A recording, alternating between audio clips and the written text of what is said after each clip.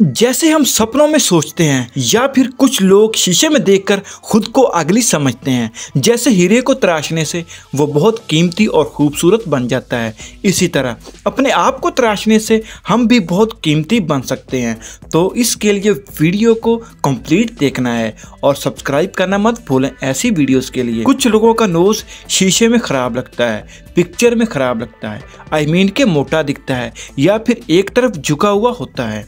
इसकी वजह नोज़ की एक साइड की हड्डी बहुत बड़ी होती है या छोटी होती है, या फिर कुछ लोगों का नाक मोटा दिखता है। तो इसको स्लिम और स्ट्रेट करने के लिए आपने इन फोर एक्शंस को फॉलो करना है। पहले एक्शन में उंगलियों से नाक को पाँच सेकंड ऐसे दबाना है। इससे आपका नोज़ स्ट्रेट स्लिम और अट्रैक्टिव दिखेगा। दूसरे एक्शन में पाँच सेकंड ऐसे मसाज करना है। आहिस्ता आहिस्ता और स्लोली मसाज करना है। इसके बाद तीसरे एक्शन में नोज़ टिप को ऐसे मसाज करें अपनी उंगलियों से। चौथे और आखिरी एक्शन में टिप के निचले हिस्से को ऐसे मसाज करना है फाइव सेकंड्स के लिए। तो इन फोर एक्शंस को अगर आप पाँच पाँच सेकंड रोज करोगे तो आपका नोज़ हर जगह से स्लिम और शार्प दिखेगा। अगर आपका नोज़ टिप के नीचे से मोटा है तो वो भी रिपेयर होगा और ठीक होगा। ये वीडियो तो बहुत शॉर्ट एक या दो मिनट की है बट आपको बहुत बेनिफिट देने वाली है। इसके बाद है नोज़ एरर्स कुछ लोगों के नोज़ की ये हड्डी बाहर निकली हुई होती है। एक तरफ़ से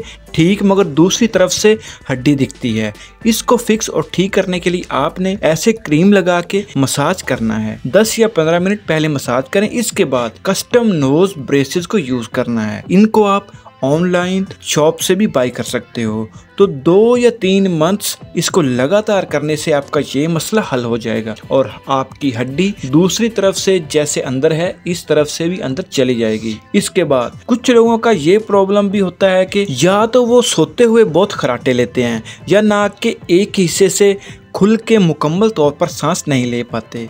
तो इस गैजेट के यूज़ से आप ये मसला हल कर सकते हो। इसको आप ऑनलाइन बाई कर सकते हो। इससे आपके सांस लेने का जो अमल है वो ठीक होगा। इसमें होता है मैग्नेट, जिसको आपने अपने नाक पर लगाना है, फिर इस गैजेट को ऐसे लगाना है, जिससे आपकी ब्रीदिंग का मसला हल होगा और आप सोते हुए खराटे भी नहीं लोगे। आई होप कि ये शॉर्ट वीडियो आपको अच्छी लगी होगी। Thanks for watching